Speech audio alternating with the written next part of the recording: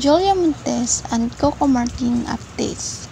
Dahil sa malapit na birthday ng pinaka-cute na bibi nila ni Coco Martin at Julia Montes, excited na ito ang dalawa sa paghanda at pagdidecorate para sa kanilang chikiting. Masaya ang dalawa sa karawan ng bibi nila, ito ay second birthday ng anak nila. Hindi mapalitan ang tamis at ngiti ng chikiting nila sa maraming mga batang nakikiparty din.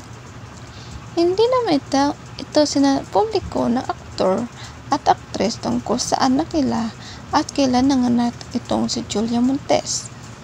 Sabi ng aktor, hindi na importante kung malaman ng mga tao o hindi at hindi pinakita sa social media dahil privacy nila yon. Wika din ng aktor na basta buo ang pamilya nila at masaya na sila doon. Naglaan din ng oras ang dalawa para sa kanilang anak dahil ang kaarawan ng kanilang anak ang pinakamasayang nangyayari sa kanilang buhay. Happy naman ang bibi nila sa mga gift ng mga bata at mga close friend nila Coco Martin at Julia Montes. For more updates ng Coco Jules, huwag kalimutan mag-subscribe.